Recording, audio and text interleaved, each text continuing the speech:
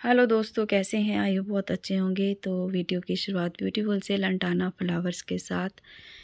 ये प्लांट जो है, हमें पूरा समर फूल देता है। अभी अभी फूल आ रहे हैं मेरे प्लांट के ऊपर। तो विंटर्स जैसे स्टार्ट होता है, बहुत सारे विंटर्स के फ्लावरिंग प्लांट जो है, अवेलेबल हो जाते हैं। तो उसके अलावा जो हमारे परमानेंट प्लांट हैं, उन्हें भी थोड़ी सी एक्स्ट्रा केयर करनी रहती है। जैसे ही हम उन प्लांट की केयर करेंगे तो वैसे हमें फूल तो देते रहेंगे बट समर के अकॉर्डिंग जो है कम फ्लावरिंग होती है। तो आज मैं बात करूँगी एक बहुत ही ब्यूटीफुल सा अपराजिता अपराजिता जो है समर के अंदर बहुत सारे हमें फ्लावरिंग देता है। इसके बहुत प्यारे प्यारे कलर होते हैं।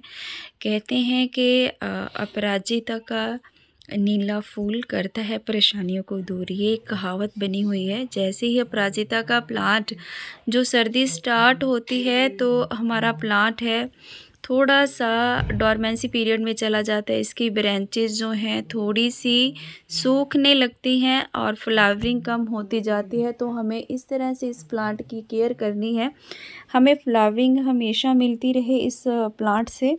और थोड़ी सी इसकी जो है कलियाँ कलियों के साथ साथ ये सीड पॉट बनाना स्टार्ट हो जाता है। जैसे ही सीड पॉट आपके प्लांट के ऊपर आते हैं तो आप उन्हें हटाते जाइएगा। जैसे ही सीड पॉट बनने स्टार्ट हो जाते हैं तो इस प्लांट को जो एहसास होने लगता है कि इस प्लांट की एज होती जा रही है। तो इस तरह से आपने जो सीड पॉट आपको चार पाँच चाहिए होते हैं, वो रख लें। कि किसी को सीड देने हैं या आपने खुद ग्रो करने हैं, बाकी के सीड पॉट हटाते जाइएगा और जैसे ही इसके फूल खिलने के बाद सूखने लगते हैं तो उन्हें भी आप हटाते जाइएगा ताकि आपके प्लांट के अंदर जो है फुल एनर्जी बनी रहे अपने प्लांट के लिए। तो जैसे ही सीड पॉट बनेंगे तो ये पूरा एनर्जी जो है उन सीड पॉट्स के ऊपर ही लगा देगा तो इसकी फ्लावरिंग ऑटोमेटिकली कम हो जाएगी। इस प्लांट को जो है नाइट्रोजन बहुत पसंद है। तो आप विंटर स्टार्ट होते ही एक बार इस प्लांट के अंदर है, गोबर की खाद मिक्स करिएगा, इसकी सॉइल के अंदर। सॉइल में अगर आप थोड़ी सी नाइट्रोजन की मात्रा बढ़ा देंगे तो आपका प्लांट हेल्दी भी रहेगा और फ्लावरिंग भी रेयरली करता रहेगा। समर की तरह तो फ्लावरिंग नहीं होगी बट कुछ प्लांट्स के ऊपर जो है फ्लावरिंग अभी भी बनते जाएँगे। इस प्लांट की मेरी जो है अभी भी ग्रोथ अच्छी चल रही है। जो भी सूखी पत्तियाँ होती हैं, आप उन्हें हटाते जाइए, जो सूखी ब्रांचेस हैं, उन्हें कट करते जाइएगा, ताकि आपका प्लांट है थोड़ा हेल्दी दिखने में लगे। और अगर आपने प्लांट के अंदर कुछ ना कुछ डालते जाएँगे हर पंद्रह बीस दिन के अंतराल के अंदर तो आपका प्लांट जो है, अच्छी फ्लावरिंग भी करता रहेगा और कभी भी ख़राब नहीं होगा। तो आप अपने प्लांट के अंदर मास्टर्ड केक जो है, दे सकते हैं, उसका पाउडर फॉर्म में भी दे सकते हैं। तो या फिर आप अपने प्लांट के अंदर उसे जो है सॉ करके डिज़ोल्व करके उसका लिक्विड दे सकते हैं। लिक्विड में आप इतना पानी डालिएगा कि बिल्कुल आपको पतला लिक्विड देना है। अगर आपने थोड़ा सा थिक लेयर डाल दी उसकी तो आपके प्लांट के अंदर फंगस लगने का डर है तो फिर रूट रॉट्स हो जाएगा आपका प्लांट तो आपने उसका जो वन टेन की रेशो में एक मग जो है आपने लेना है लिक्विड का और टेन मग जो है आपने डालने हैं पानी के। तो इस तरह से आपका प्लांट है, नहीं मरेगा और अच्छा भी रहेगा हेल्थ अच्छी रहेगी और आपका प्लांट है न्यू न्यू पत्तियाँ और न्यू न्यू ब्रांचेस बनाता रहेगा। अगर आपका प्लांट पॉट में लगा है तो उस पॉट को आप फुल सन में रख दीजिएगा क्योंकि इस प्लांट को अभी फुल सन की ज़रूरत होती है। तो अगर आपका प्लांट ज़मीन में लगा हुआ है तो फिर ये पॉसिबल नहीं होता। तो आप वहीं पे आप उस प्लांट की जो है लिक्विड फॉर्म में या फिर गोबर की खाद दे सकते हैं। एनपीके नाइट्रोजन पोटेशियम फास्फोरस आपको मस्टर्ड केक में मिल जाएगा। उसको भी आप पाउडर फॉर्म या किस तरह से भी दे सकते हैं, ये आपके ऊपर डिपेंड करता है।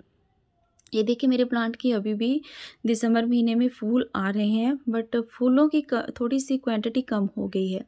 आपके प्लांट के अंदर भी हो गई होगी तो आप सूखे हुए फूलों को हटाते जाइएगा और सीड पॉट को हटाते जाइएगा, क्योंकि अपने प्लांट के अंदर सीड पॉट की इतनी ज़रूरत नहीं होती है। कुछ सीड्स की ज़रूरत होती है, इसके अकॉर्डिंग आप सीड पॉट रख लीजिएगा।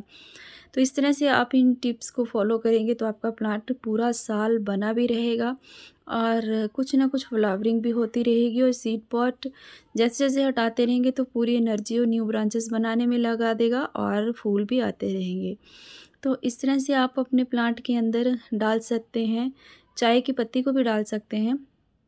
जो हमें यूज़ की हुई पत्ती होती है, वो अच्छे से धूप में सुखा करके आप दे सकते हैं आपके प्लांट के अंदर।